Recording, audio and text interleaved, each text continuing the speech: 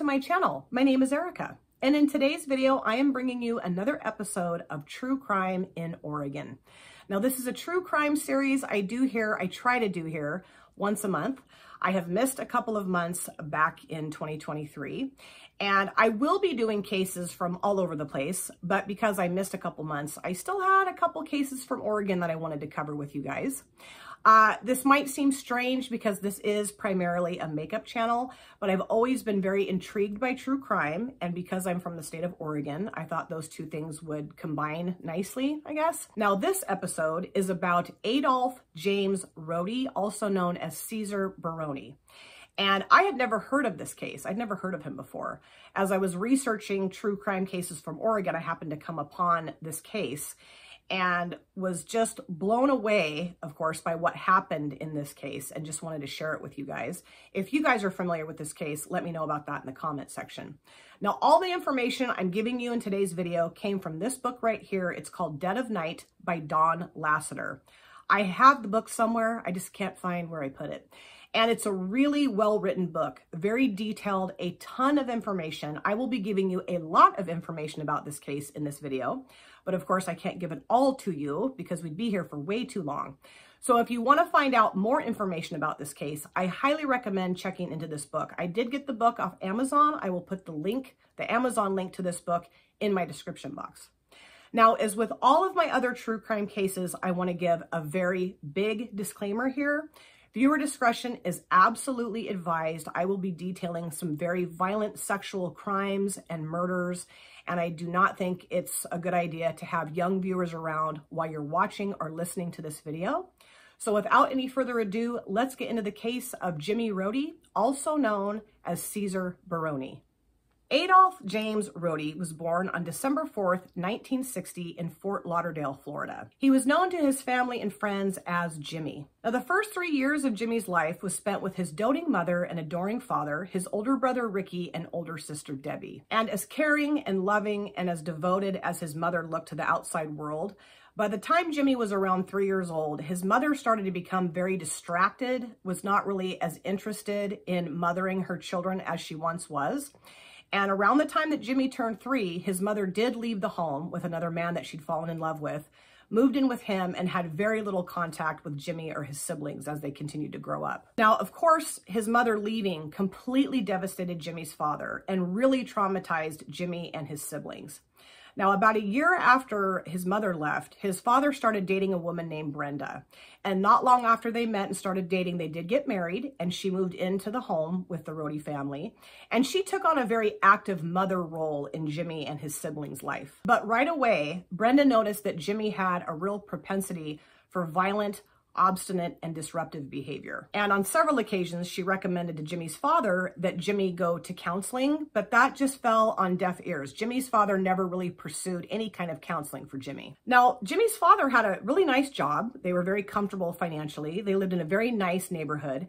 And to the outside world, of course, the Rode family looked like the ideal family, but behind closed doors, things were very different than what they were showing to the outside world. When Jimmy went to preschool, he started stealing toys from other children, stealing things out of the teacher's lockers. But because Jimmy had such a sweet, innocent look to him, he was never really punished for that behavior. In kindergarten, Jimmy became so disruptive that he was expelled from school. In grade school, Jimmy was caught smoking on school grounds and was so disruptive and so violent to other students that he was permanently banned from the school's lunchroom. As he went into junior high, he was threatening other students with knives. He was burning kids with lit cigarettes and being completely disruptive and obstinate in his classroom. When Jimmy was 12 years old, his stepmother was so tired of dealing with his horrible behavior and so tired of Jimmy's father never listening to her about his horrible behavior and doing nothing to try to like prevent him from behaving that way, getting him some help for his behavior, that she finally decided to leave the Rode home. Uh, they divorced, but she still tried her best to be a mother to Jimmy and his siblings. And as he entered high school, of course, his behavior continued and got worse.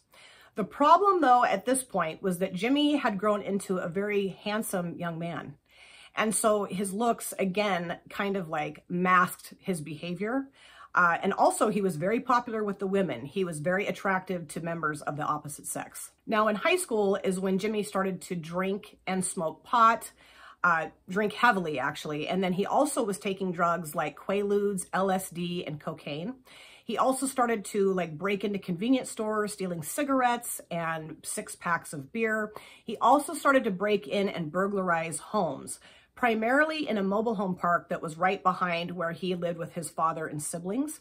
And his targets were primarily elderly single women. His MO typically was to break in through one of their windows, cut their phone lines, steal as much of their items as he possibly could, and then before he would leave, he would either urinate or masturbate in their homes. On October 5th of 1976, Jimmy broke into the home of 70-year-old Alice Stock, who lived in the mobile home park right behind his family's home. And she was known in the neighborhood as just the sweetest lady. Everybody went to Alice for advice and just loved to hang out with her and spend time with her. He held her at knife point and told her to remove all of her clothing. And as he was getting ready to sexually assault her, it's like he lost his nerve and he took off out of the home. Now, uh, she ran over to a neighbor's home. They called the police, and the police came and took her statement, and she very clearly identified Jimmy Rode as her attacker. And at that point, he was sent to a Florida juvenile detention center for about two months. Now, in August of the following year, in 1977, he was arrested again for breaking into an elderly woman's home.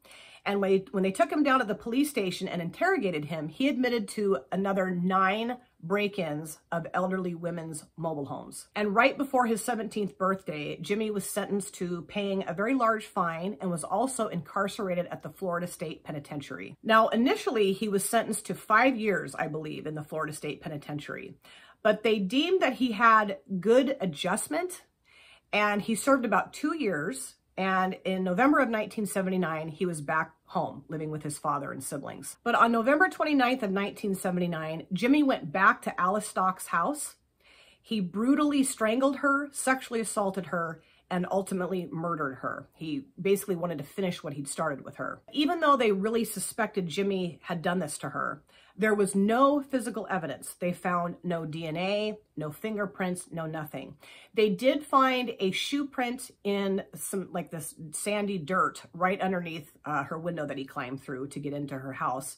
But they weren't really even able to make a print out of that shoe print, like a cast of that shoe print. So he went unpunished for this murder and sexual assault of this 70-year-old woman. Now, in January of 1980, Jimmy's older brother Ricky was killed in a car accident.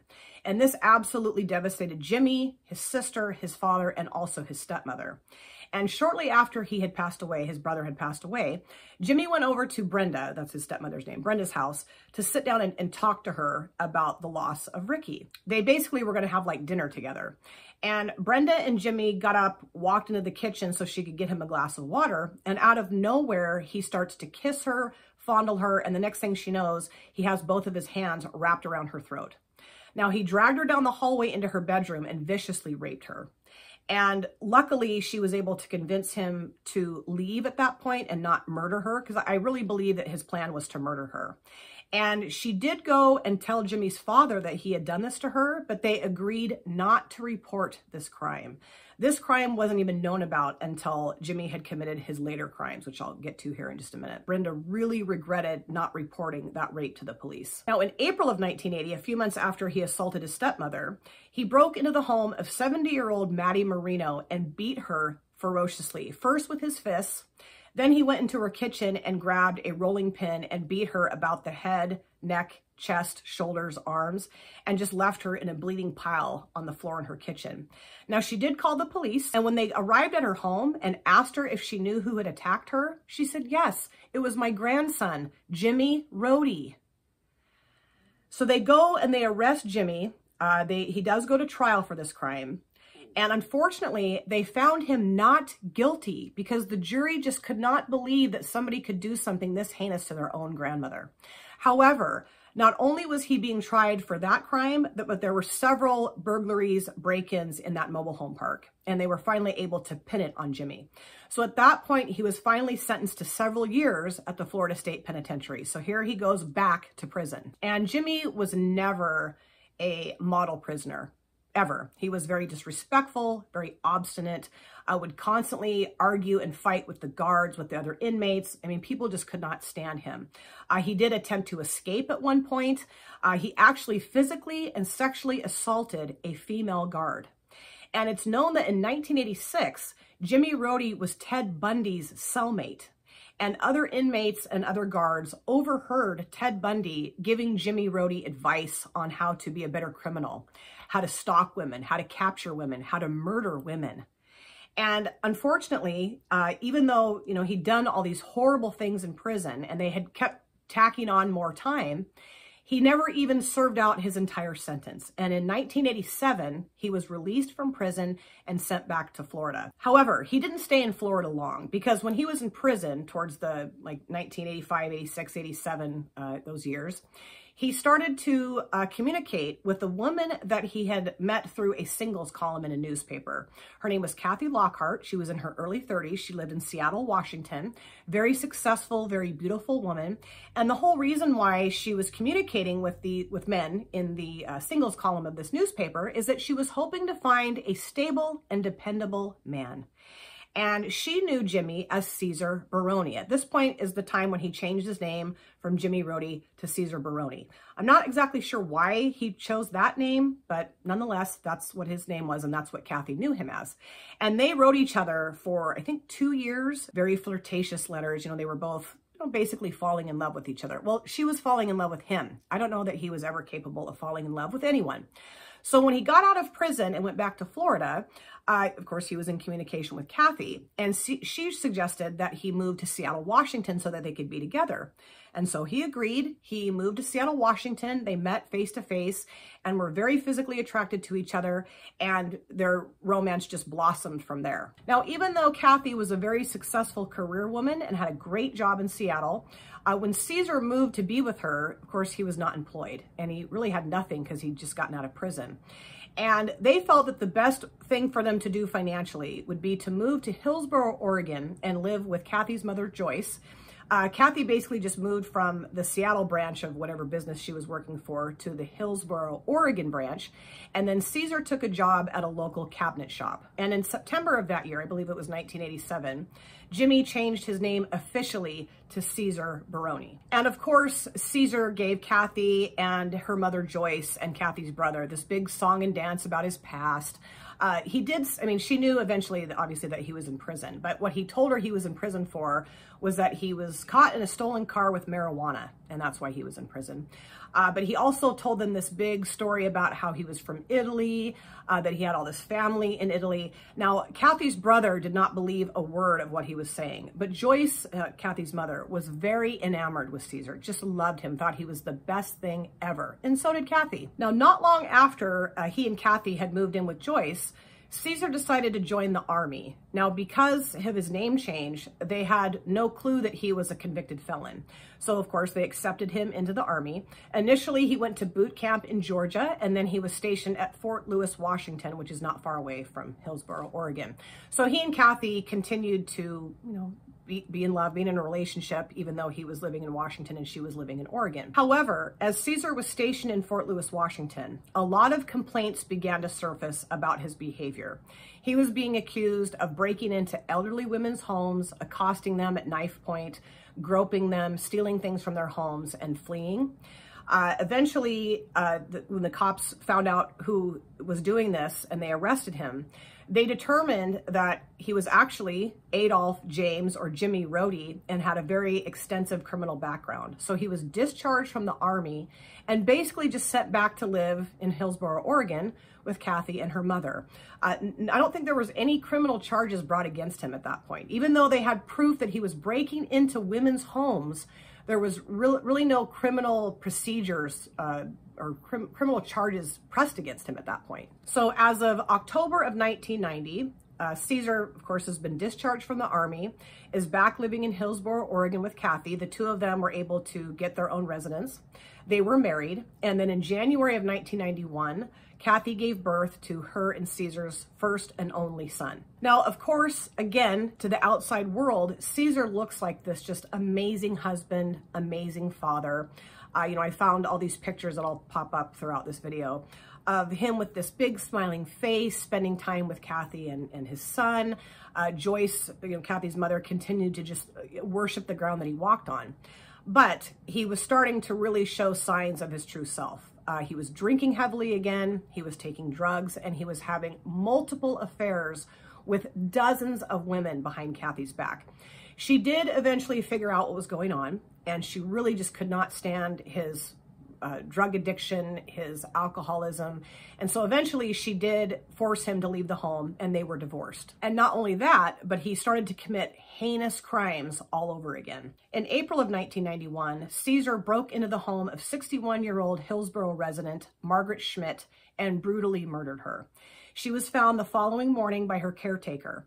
And as the caretaker walked into the home, she knew immediately that something was wrong. She'd been trying to call Margaret uh, the night before and couldn't get through because Cesar had cut her phone lines. And when she walked back to Margaret's bedroom, she found Margaret laying on her back in a state of undress and it was clear that she was gone, that she was dead. And she noticed immediately that there was blood all over uh, Margaret's face and all over a pillow that was right next to her. So, of course, she immediately calls the police.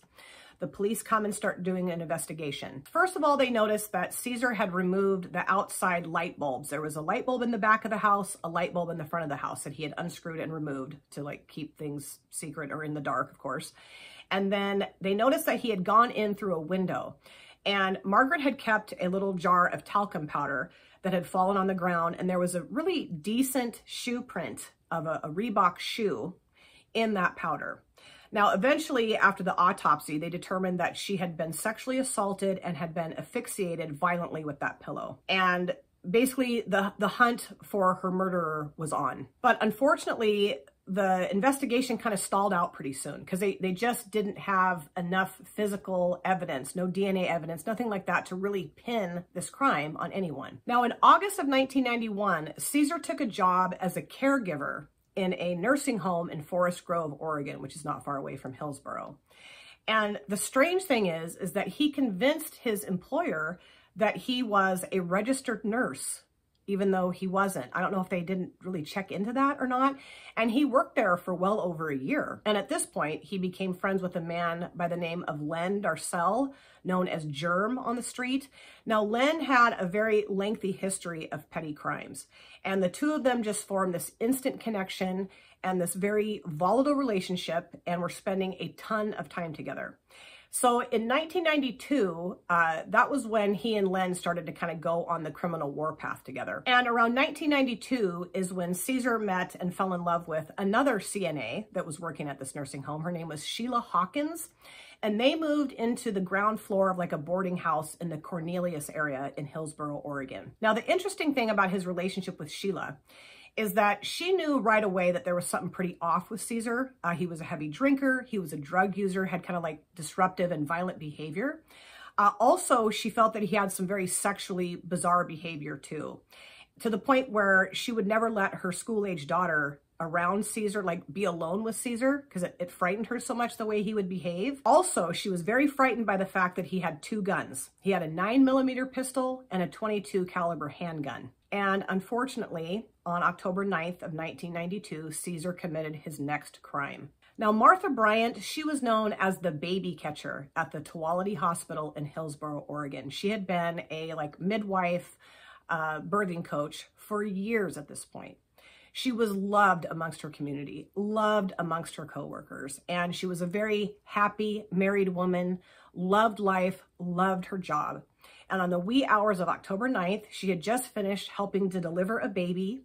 And her whole goal was to get home, sleep for a few hours, and then she and her husband were going to go on this really fun cruise together. She hopped into her dark green VW bug and left to go home. And as she pulls up to a stoplight on her way home, she notices this Chevy muscle car right behind her, revving its engine, really bright headlight shining right into her car to the point where she could barely see. And she's thinking, what in the world is going on here? And as she leaves the stoplight to continue on home, here comes this Chevy muscle car right up beside her, kind of almost like easing his way into her lane. And she was, you know, panicking, trying to speed up, get away from him. And he just speed up right alongside her. And the next thing she knows, the driver of this car has now pulled out a gun and is firing nine millimeter bullets into her car. One actually comes through the car, hits her right here in the side, uh, travels through her body and comes out under her armpit. So of course she loses control of her vehicle. She pulls off the side of the road, well kind of crashes off the side of the road. And Cesar Barone, of course, is the person that is firing at her. He gets out of his vehicle, goes over, pulls Martha out of her car, pulls him into his car, rapes her viciously in the back seat, and becomes so angry with her that she's bled all over his back seat that he takes out the 22 caliber handgun and shoots her in the head with it. He then takes her body with her pants pulled down to her ankles and just discards it in the middle of the street and takes off. Now, there were some neighbors around where this crime took place, and they started calling the police, saying that they could hear gunshots, they could hear somebody arguing, they could hear a, a woman or a man screaming, and to please, please send police. So, of course, the police show up and they see this horrendous scene. They see this woman who has been shot in the head, shot in the torso as well, with her pants down around her ankles, bleeding to death in the middle of the street. And they also see Martha's car that's riddled with bullets on the side of the road. And they're just like, what in the world is going on here? So, of course, they start investigating. And at this point, you know, they're, they're piecing some things together. They do have some clues, uh, not a whole lot of DNA evidence, but they do have, um, you know, uh, spent bullet casings. So they know what kind of guns were used. They know that two different kinds of guns were used. And they just have no idea who in the world would target this wonderful, well-respected, much-loved woman in the community. Two months after that murder was committed, Cesar committed his next murder on the evening of December 30th of 1992. Now that whole entire day, he and his friend Len Darcel had spent it drinking heavily and doing heavy drugs and were just on a criminal rampage. And they decided that they needed to find themselves a woman. So they hop in Cesar's car and they head down to downtown Hillsboro, Oregon, where there's lots of bars and dance clubs and things like that. And they happen to come upon 23-year-old Shanti Woodman. Now, she was walking out of a bar. She had just shown up there not long before that to drop off some hot tea for a musician friend of hers that was getting ready to perform. He had a sore throat. And so she wanted to do something nice for him. And, and that was very typical for Shanti. She was known as a very good friend, always put her friends first, very loving, very caring. But when she got there, she noticed that her musician friend wasn't there. So she turns around, leaves the bar, and happens to bump right into Cesar and Len. So they strike up a conversation with her and convince her to go back to Cesar's house with them to drink there. It'd be more comfortable rather than bar hopping. So she agrees, she gets in the car, they go back to Cesar's home, the bottom floor of the boarding house in the Cornelius area. Now Sheila was not there that evening. And they proceed to drink, and eventually Cesar takes Shanti into another room and violently rapes her and sodomizes her. And then Len does the same exact thing. And at gunpoint, they force Shanti back into Cesar's car and they drive way out Highway 26, which is like the coastal highway here in Oregon. It leads you right to the coastal part of the state. They take her to a very deserted part of the highway. Cesar forces her at gunpoint to get out of the car where he just taunts her and beats her and just humiliates her horribly. Ends up putting the 22 caliber handgun under her chin and pulls the trigger, instantly killing her and basically just leaves her in a crumpled heap on the side of the road and he and Len take off. Now, of course, her body is found and the police continue or start another investigation and they're noticing that the same handgun, the 22 caliber gun, was used in Martha Bryant's murder and also in the murder of Shanti Woodman. So they're starting to kind of piece some things together. And also, as they're doing this investigation, they find people who have seen Shanti with Cesar and Len. So they kind of have some rough physical descriptions of Cesar and Len at this point. Now, a week later, Cesar commits his next crime. He breaks into the home of 51-year-old Betty Williams, who is another Hillsboro, Oregon resident, and terrorizes her in her own bathroom, attempts to sexually assault her. And in the midst of this assault, she has a massive heart attack and dies. And basically Cesar just kind of like bends her over into the bathtub. She was getting ready to take a bath. So there was about two inches of water in the bathtub. He just bends her body into the bathtub and then leaves. However, he leaves behind his 22 caliber handgun. So the following morning, Betty's son shows up at her home because he can't get a hold of her and finds his mother dead, slumped over the bathtub with her face in like two inches of water. And he's thinking, what in the world happened to her? Uh, she was handicapped. So initially he was thinking, well, maybe she lost her balance, fell into the bathtub and drowned. But he could tell just by looking at her that she hadn't drowned, that she had died before her body ended up where it ended up. So you know, he calls the police, and as they're investigating and searching her residence, they find the 22 caliber handgun. And as that is being investigated, they quickly, pretty quickly determine that that gun was used in the murder of Martha Bryant and also in the murder of Shanti Woodman. So now, of course, they're desperately trying to find the owner of this 22 caliber handgun. Now, as the investigation continues, you know, a few months have passed now as they're investigating different leads, different descriptions of people that were last seen with Shanti, looking into ballistics evidence of the different guns that were used, the, the bullet casings, all of that uh, Cesar just cannot keep himself out of the criminal spotlight. Now, at this point, he has moved out of the bottom floor of the boarding house in the Cornelius area because he's, you know, paranoid that they're going to figure out uh, where Shanti came from, you know, all that situation. So he moves in with a really good friend named Ray Price. And that is where he stashes the 9 millimeter handgun. But in the course of the investigation over those few months, he viciously sexually assaults three other elderly women, one of which was a woman that actually moved into that ground floor boarding house in the Cornelius area. He shows up there to like hang out with her, like he'd befriended her, and they were like going to hang out and, and, and, drink and just party together. She was an elderly woman and she was also handicapped. And so he took full advantage of the situation and he viciously sexually assaulted her. And after waiting, I think a couple of days, she finally called the police and she told them exactly what had happened. And she told them exactly who had sexually assaulted her, Cesar Barone. And so they just start really investigating Cesar. They start looking into his past. They start finding his uh, associates. They talk to Sheila. They talk to Kathy, his ex-wife. Uh, they talked to a, lo a lot of different people, people that he worked with, his former boss, the cabinet shop, and they start really piecing together that Cesar has all of the traits that they would be looking for in these different murders. They also start looking at the physical descriptions that they're getting from the various crime scenes. They also start looking into descriptions of the vehicle that Cesar drove on the night that he killed Martha Bryant. Uh, it was described as a dark brown Chevy muscle car. And they pretty quickly determined that he did own a dark brown Chevy Chevelle, I believe, known as a muscle car. And they also find out that his real name is Adolph James Rode and that he has a very extensive criminal background in Florida. And so they're really thinking, man, this really could be the guy. So they go to Cesar's current residence and they talk with Ray, his current roommate. And they notice right away that Ray is very nervous, very paranoid acting, uh, not really giving them straight answers about Cesar and his whereabouts and who he is as a person. And so the cops decide, you know what, we need to get a search warrant. We need to search this house. So they do get a search warrant and they search the house and they find the nine millimeter pistol.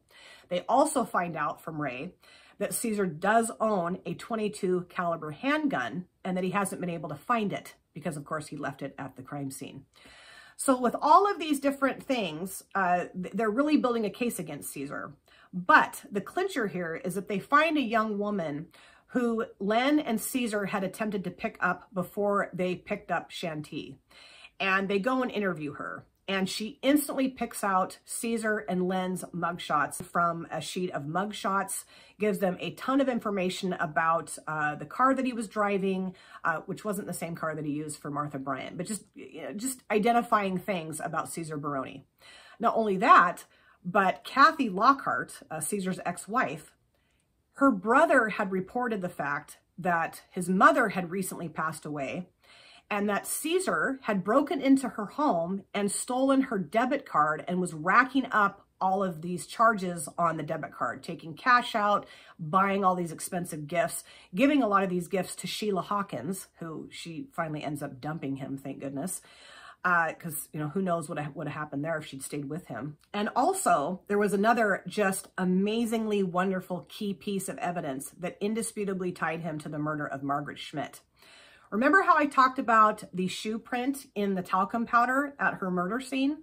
Well, that shoe print belonged to a very rare pair of Reebok sneakers. There had been very few pairs of those sneakers made when Reebok released that shoe. And one of the detectives was just hell bent on finding the owner of that shoe. And when the police issued the search warrant of Jimmy's current residence with Ray, uh, not only did they find the nine millimeter handgun, but they found the exact pair of Reebok shoes that belonged to Jimmy that left that print in the talcum powder. It matched perfectly with the cast or the mold that they took of that shoe print. And so they're just really able to start seeing Cesar or Jimmy for who he really is. So finally, they have, they feel like they have enough evidence, most of it circumstantial, but enough evidence to really go after him. And they do arrest him on February 27th of 1993 and take him down to the Hillsboro jail. Now, at this point, he's real arrogant, real cocky, laughing, acting like this is just the funnest time of his life, not really giving them any information.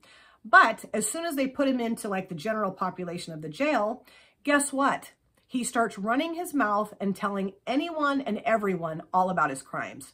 Now, the thing is, is that he was giving some false information too, kind of interspersed with the actual details of what he'd done to kind of like throw the cops off. Um, he was saying that he used a different caliber uh, weapon, uh, saying that he'd used a knife, um, lying about what kind of car he had when he shot Martha Bryant, uh, saying that crimes had taken place in different parts of the city, saying that he lived somewhere else, you know, just to kind of throw him off. But eventually, three of the inmates that he was running his mouth to had finally had enough they could see that as he was describing these crimes, the sexual crimes especially, that he was getting like sexually aroused and it was just infuriating them. They were like, no, I can't listen to this guy anymore. So they did make arrangements to sit down with the detectives that were investigating this crime and just tell them everything that Jimmy, I'm going to refer to him as Jimmy from now on, that Jimmy had shared with them. And the detectives were like, oh, wow. So even though they had a lot of evidence, a lot of evidence against Jimmy, what they really needed was like concrete proof that he had committed these murders. So initially what they did is they tracked down the dark brown Chevy Chevelle that uh, Cesar had been driving when he shot Martha Bryant. He had sold that to someone. Uh, I can't remember exactly how they tracked it down, but they did. And when they got there, I think the car was in was in a different state. I can't remember what state it was in. But when they started to investigate the car, they noticed that in the back seat, the upholstery had been changed. So they go and they remove the upholstery and it, it, the, the cushion underneath the upholstery is soaked with Martha Bryant's blood. So they know immediately that, okay, this murder did take place in the backseat of this car, and there was no doubt in their mind that Jimmy had committed this crime. Not only that, but on the same night that Martha had been murdered, uh, Jimmy was pulled over twice in that vehicle, right in front of the Tuality Hospital. He was like cruising around in front of the Tuality Hospital, waiting for someone. I don't know that he was necessarily going to target Martha Bryant, but he was waiting for somebody that would come out of that hospital that he could terrorize and murder. And now, of course, with his own confessions in the jail, they know that they have a very strong case against Jimmy. So they go forward with it. And I, I think the real key part of this investigation, the real key that like tipped the scales completely was the fact that the detective sat down with Len Darcel. And he at first denied having anything to do, didn't even know Jimmy. Then it turned out, well, yeah, we're friends. And then he finally admitted that he had taken part in not the murder of Shanti Woodman, but kind of like basically like her abduction, that he had had sex with her. He didn't admit to sexually assaulting her, even though it was obvious from her autopsy that she had been horribly sexually assaulted. And that basically he was too afraid of Jimmy to stop him from murdering her. He ultimately gave the police all the information they could possibly need about that crime from start to finish. And he said, as they were interviewing him, that he knew that his life as he knew it was over and that he was willing to take whatever punishment they gave him because he just couldn't live with the fact that he had taken part in this horrible crime. So Jimmy's trial starts in February of 1994. And of course, his defense attorneys try to find all these technical errors and tried to find fault in the investigation, tried to uh, thwart the jury, thwart the judge, you know, make it look like they had uh, come after Jimmy for their own personal reasons. But fortunately, Jimmy was found guilty. Initially, he was sentenced to death for the murder of Martha Bryant. And then not long after that, he was sentenced to two more death sentences for the murder of Shanti Widman and Margaret Schmidt. Now, Betty Williams was a little tricky because she died of a heart attack, even though he caused the heart attack to happen. Uh, they couldn't indisputably pin the murder, her murder, on to Jimmy, which really, honestly, really made me angry because if he hadn't broken into her home and scared her, assaulted her, she I don't think she would have died, obviously. Now, remember at the very beginning or close to the beginning of the video, I talked about the murder of Alice Stock in Florida. Well, when the Florida law enforcement that was investigating that murder found out that Jimmy Rode was now in prison for murder in Oregon, uh, they started doing their own investigation. They had continued to do their own investigation. And they just couldn't find Jimmy anywhere because, of course, he changed his name. But now that they knew where he was, they indicted him for the murder of Alice Stock. Now, the, the tricky part of that too is that he would have had to have gone back to Florida to face that trial.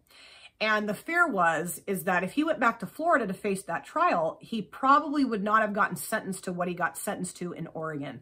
So even though they did tack on that murder to his official criminal charges, they didn't sentence him to anything for that murder because they just felt like Oregon had done a decent enough job in giving him three death sentences. They didn't, they didn't want to screw any of that up. And one of the things that really just galled me as I was reading this book is that Jimmy never showed any signs of remorse. He bragged about these crimes to his fellow inmates. He acted like a complete jackass in court, laughing, mocking people, mocking witnesses, mocking the uh, family members of these murdered women. I mean, just absolutely horrific and disgusting behavior. And Jimmy Rode died in 2009 on death row due to cancer. And of course, as with all of my other true crime videos, I want to give you my two cents here.